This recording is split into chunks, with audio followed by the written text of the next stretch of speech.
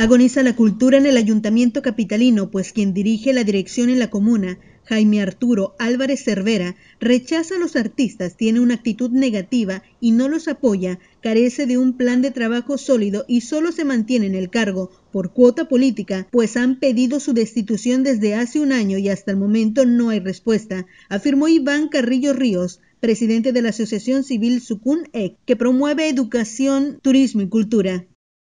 Quien dirige cultura es una persona que no se acerca a los artistas, que los rechaza, que tiene una actitud negativa. El director Cervera es la persona que definitivamente consideramos los artistas que es una persona que está ya por cuota política, lo hemos dicho siempre.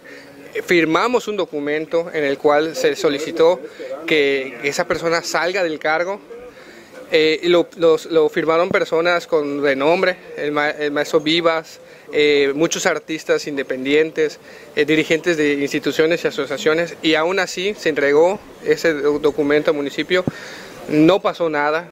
El también director del Centro Cultural Independiente, Cafebrería Huracán, consideró grave la situación que se vive en la capital en el tema cultural, pues el ayuntamiento de Otompe Blanco ha tenido muchas oportunidades para realizar diversas actividades y simplemente no las ha hecho.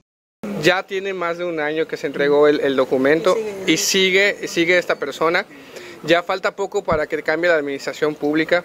Yo estoy consciente que este señor está ya solamente por una cuota política. Una vez que se termine esta administración va a estar otra persona. Sin embargo, creo que nosotros los artistas a través de ese documento reflejamos el hecho de que no queremos que cualquier improvisado esté dirigiendo esa institución. Queremos que sea una persona que realmente tenga la actitud y la aptitud para hacerlo.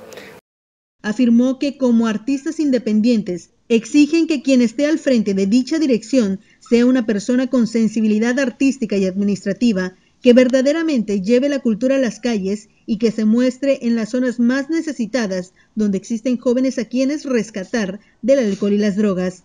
Tan solo en Otompe Blanco y Bacalar existen 300 artistas y una cantidad similar que está en formación que carece de espacios o condiciones necesarias para desarrollarse. Para Notivisión, Rosy Dorado.